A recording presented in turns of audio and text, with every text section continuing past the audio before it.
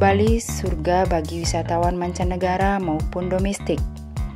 Di Pulau Dewata ini, selain terdapat ribuan pura, juga keindahan alamnya yang selalu terjaga. Salah satunya air terjun Nunungan Kecamatan Petang Badung. Untuk bisa menuju tempat ini, wisatawan dapat berangkat dari kota Denpasar menuju Sange atau hutan Pala Sange. Selanjutnya menuju utara. Diperlukan jarak tempuh 35 km untuk sampai di Desa Plage, lokasi air terjun Nunungan.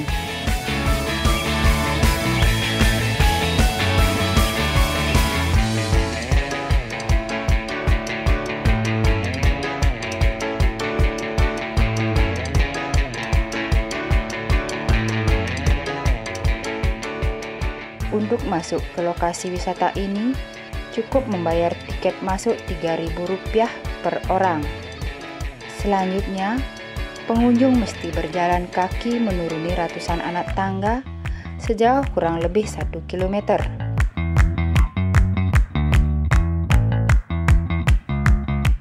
Keindahan panorama alam pun sudah tampak. Ratusan anak tangga dikelilingi oleh berbagai jenis pohon dan harus menyeberangi sebuah jembatan kecil. Setelah itu, baru Anda dapat menikmati keindahan air terjun Gunungan ini. Ketinggian air terjun mencapai 50 meter dengan debit air yang cukup besar. Air terjun Nunungan terletak di Desa Pelagu, Kecamatan Petang, Kabupaten Badung. Air terjun Nunungan merupakan salah satu dari puluhan air terjun yang ada di Bali dengan pemandangan yang cukup indah. Wisatawan asing yang mengunjungi tempat ini umumnya tidak menyanyiakan kesempatan ini untuk mandi. Airnya yang tidak begitu dalam karena berbatuan cukup keras juga membuat anak kecil nyaman mandi sambil bermain air.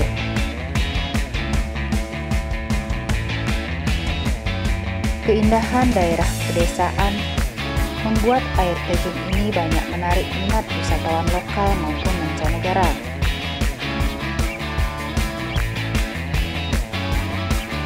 Mereka datang dan menikmati keindahan alamnya, bahkan sejumlah wisatawan mengaku kagum dengan keadaan alam air terjun ini. Lumayan bagus, medannya nggak begitu terjal, cukup buat olahraga. Sudah sering Pak Uh, ini yang ketiga kali. tiga kali. Dibandingkan dengan air terjun tempat lain gimana? Uh, kalau ini agak bandingan daripada yang di Gigit. Iya, Apanya Pak?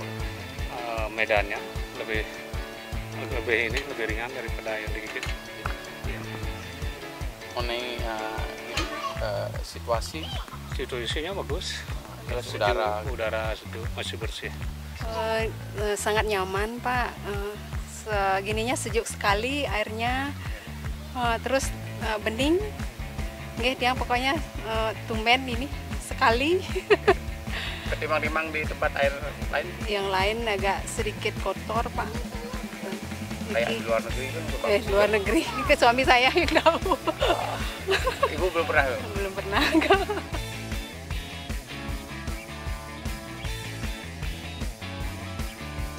Berwisata di objek wisata ini sangat cocok untuk para pengunjung yang menyukai olahraga trekking.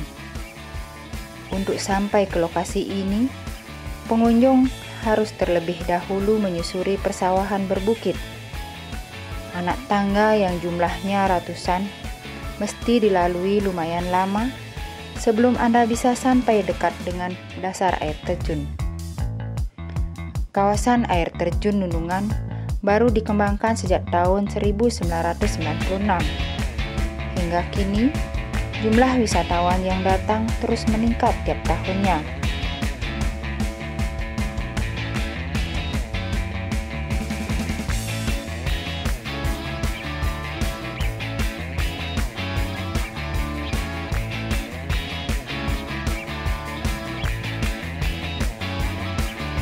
para pengunjung juga bisa menikmati kehidupan sehari-hari para petani dari desa setempat.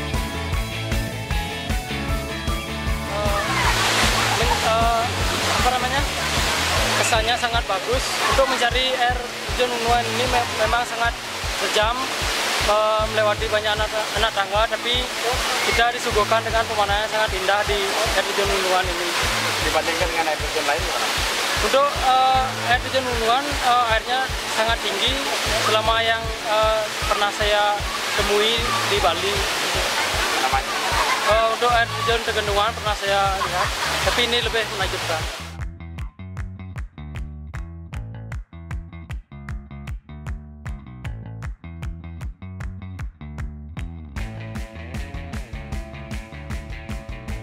Bagi Anda yang sudah terlalu penat dengan kehidupan kota besar, tidak ada salahnya untuk menghabiskan hari libur di kawasan air terjun Nunungan.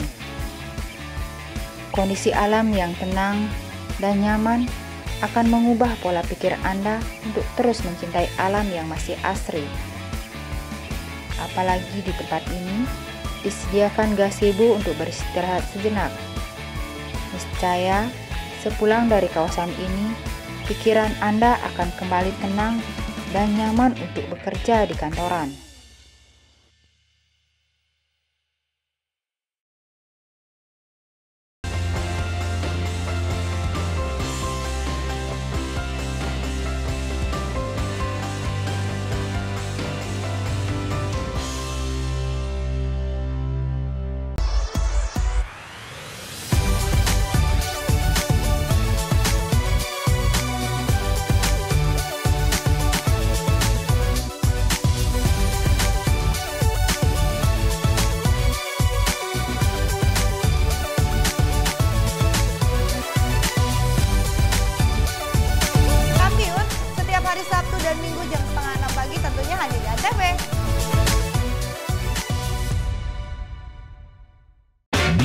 Kami memberikan berita aktual dan secara langsung. Laporan langsung dan terhangat. disaksikan warga dari berbagai penjuru dunia. punya banyak berita Paling update langsung dari lokasi. masih terus digelar oleh Polsek Kebayoran Baru. Langsung dari Simpang Gadok, Ciawi, Bogor, Jawa Barat. Dan pastinya menghibur. Masih soal hewan nih. Kalau misalnya Selamat Malam Indonesia pengen tahu sejarahnya. boleh. Kenapa nyindennya nggak bawa-bawa ular? Selamat Malam Indonesia. Senin sampai Jumat jam 12 malam. Acara paling seru favorit pemirsa. Ketemu lagi The New It Bulaga Indonesia. Seru-seruan di pagi hari. Cakep Dewi Kramas ya, cakep. Dapat hadiah keren. Dapat jodoh keren. Ya, bosnya patah The New It Bulaga Indonesia. Senin sampai Jumat jam 8 pagi. Antv. Pesen juri sih cuma satu. Mama, jangan sampai resep keluarganya dihancurkan oleh anak. Mama jadi harus konsentrasi. Potong apa? Jangan ngajak ngomong mulu apa. Api unggun keluar cepetan. Biar nggak tambah hancur. Ya Allah, tobat tujuh turunan. Anak setan banyak apa? Dapur Mama Seru. Sabtu dan Minggu jam 11 siang. Antv.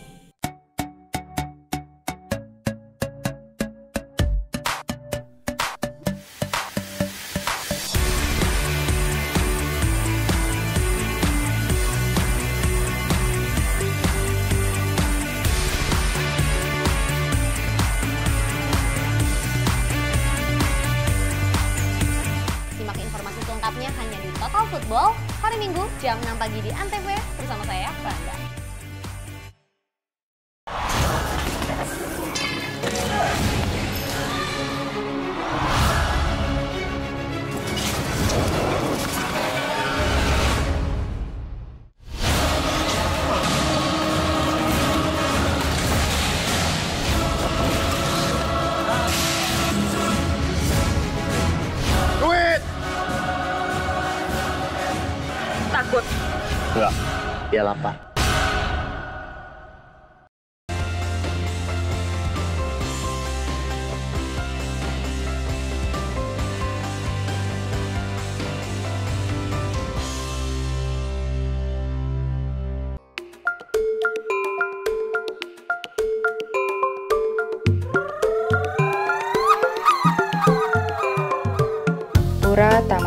Pancagangga Tembeling Desa Batu Madeg belakangan ini menjadi incaran wisatawan domestik maupun mancanegara.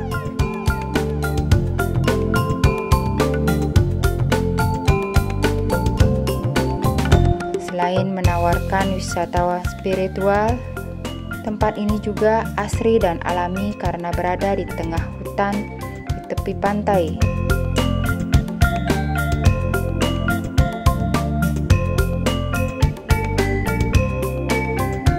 Bicara masalah Nusa Penida, Kelungkung memang tidak pernah membosankan karena Nusa Penida memiliki daya tarik tersendiri baik wisatawan baharinya maupun wisatawan spiritualnya.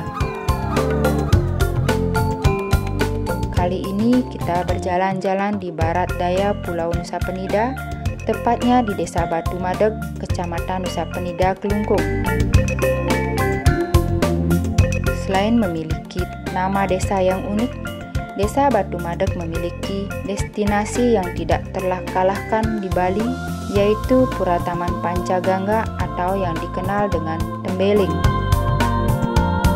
Untuk sampai ke pura ini, kita harus menelusuri jalan setapak yang dipenuhi pohon-pohon besar dan lembah dalam yang ada di areal tanaman hutan rakyat Tembeling. Dari pusat desa Batu Madeg, jarak yang ditempuh sekitar satu setengah kilometer untuk sampai ke pura tersebut. Sebelum sampai ke Pura Taman Pancagangga, terlebih awal kita bertemu Pura Batu Bolong. Di tempat ini ada sebongkah batu besar yang bolong atau berlobang. Pura ini diyakini sebagai bala atau tempat bersemayamnya pengawal pura. Setelah Pura Batu Bolong, kita bertemu lagi dengan pura yang pancuhan Selanjutnya Pura Ratu Kanjeng, penguasa pantai selatan.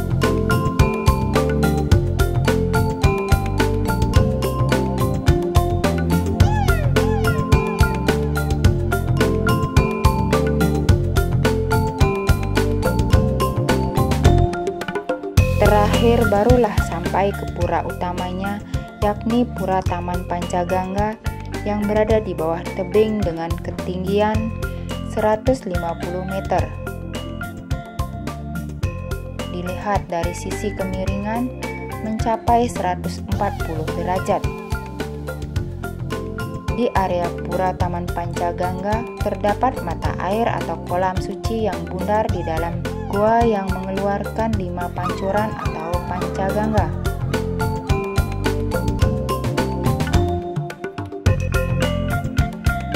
Di bawah pura tersebut terdapat kolam yang terbentuk bundar dengan diameter 5-6 meter.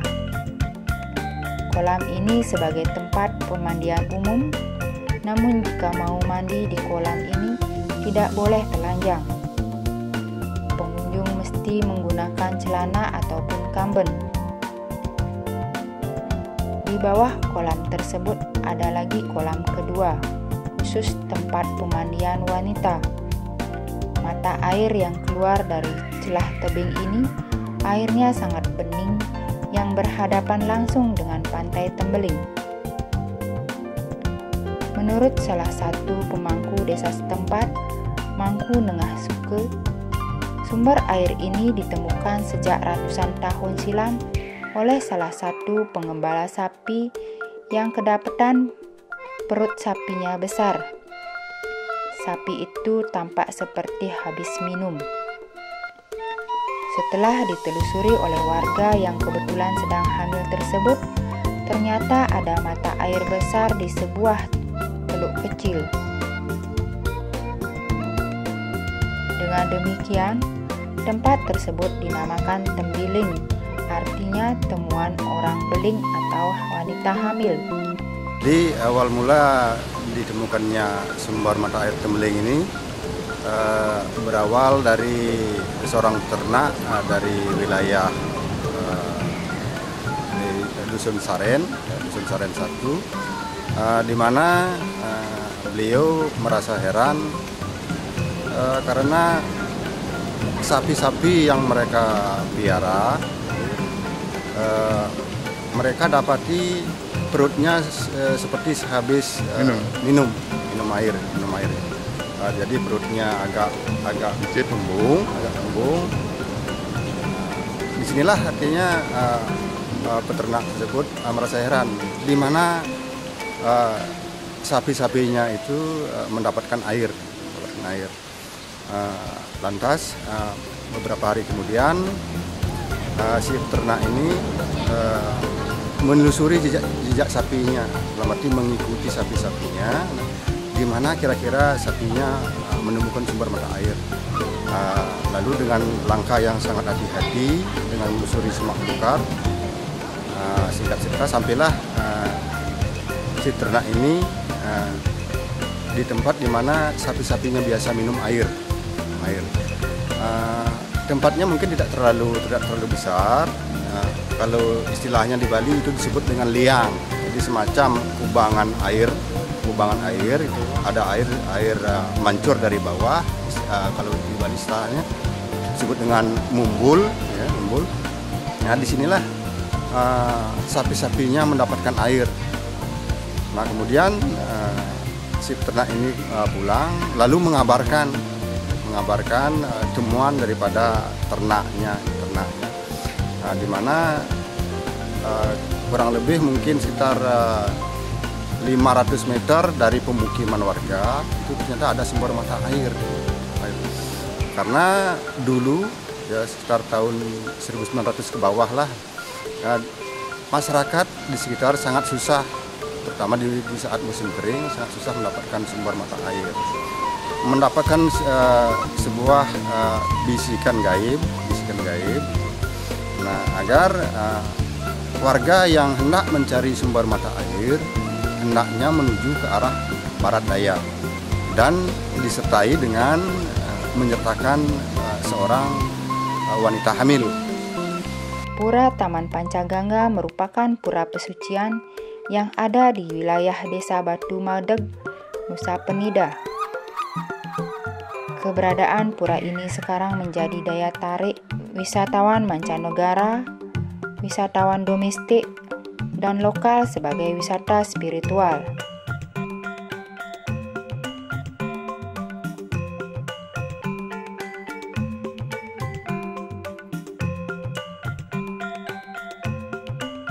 Di tempat ini juga terdapat jalan setapak sebagai trekking karena menawarkan pemandangan pantai dan perpaduan hutan dan lembah yang cukup menantang adrenalin Anda.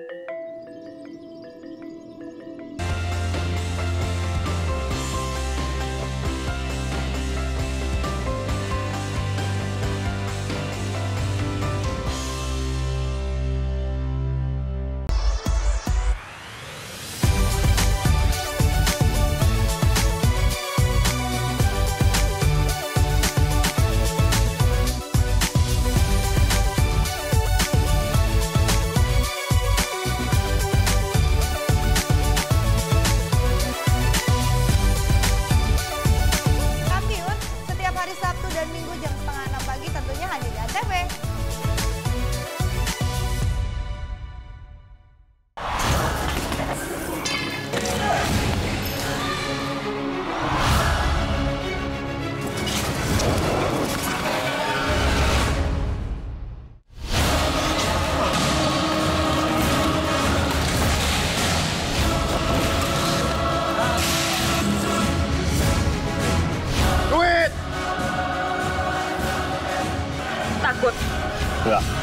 Football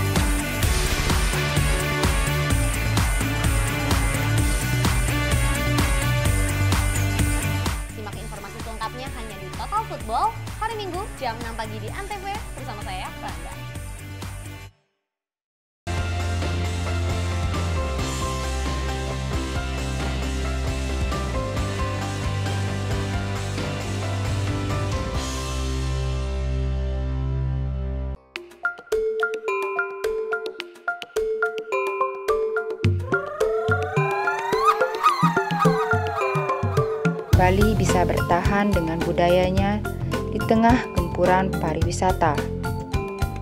Bukan hal yang mudah dalam mempertahankan budaya ini tetap lestari dan menjadi daya tarik wisatawan. Di dalam mempertahankan budaya, banyak hal yang harus dilakukan. Tidak saja diperlukan peran dari pemerintah, juga peran aktif dari generasi muda. Untuk itu, generasi muda di Bali khususnya sekolah senantiasa untuk selalu menjunjung tinggi budaya nenek moyang mereka. Seperti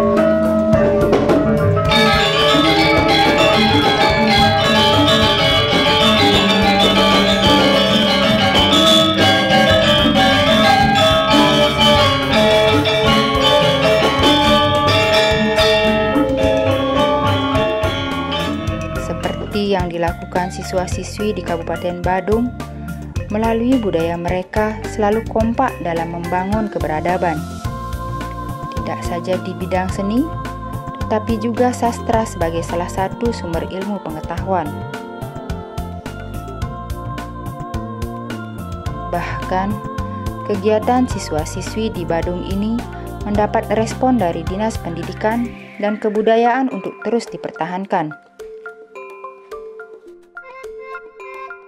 Lingkungan keluarga. Nah, dengan dasar ini maka kami di Kementerian Agama memiliki suatu tanggung jawab terhadap nilai-nilai pendidikan agama.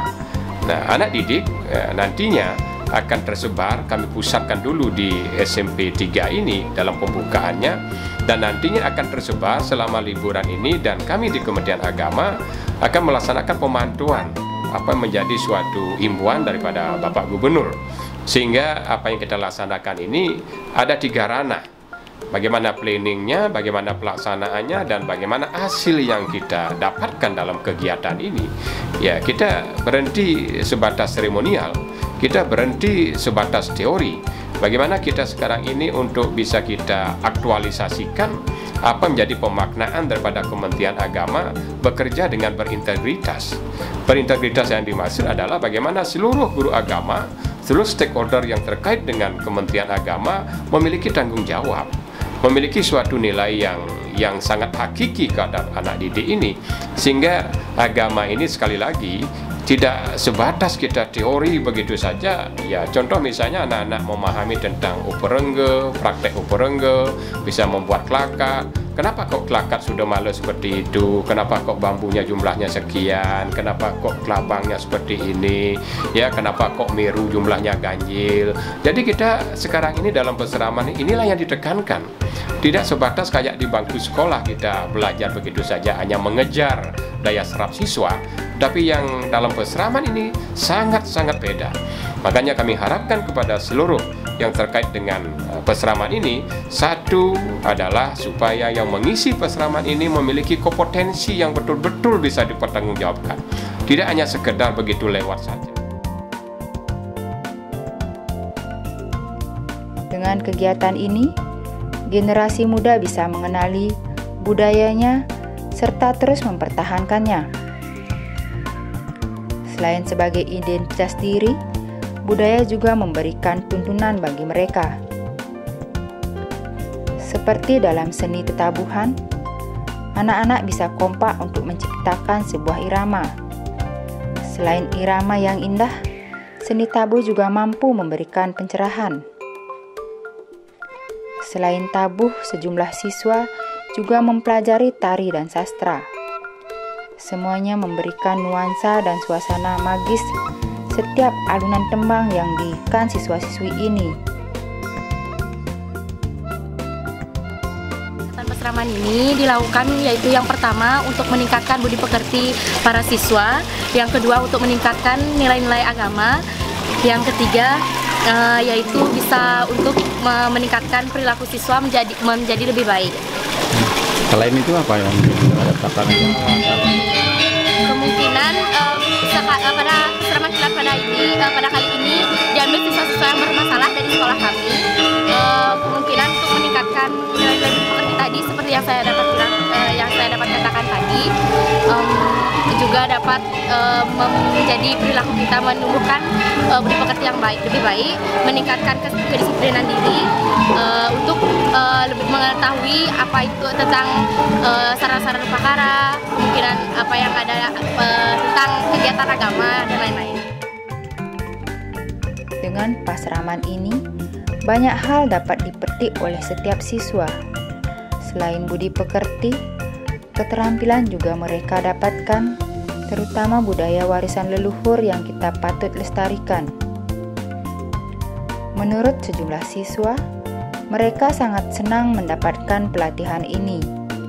Mereka semakin mencintai budaya, terutama sastra Bali yang saat ini mulai dilupakan masyarakat.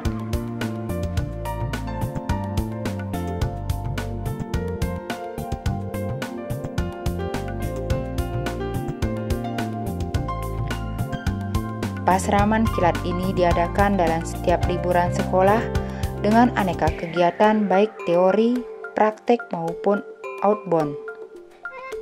Sarana utama kegiatan pasraman kilat adalah untuk meningkatkan aktualisasi pengalaman ajaran agama Hindu dalam kehidupan sehari-hari dan dalam masyarakat.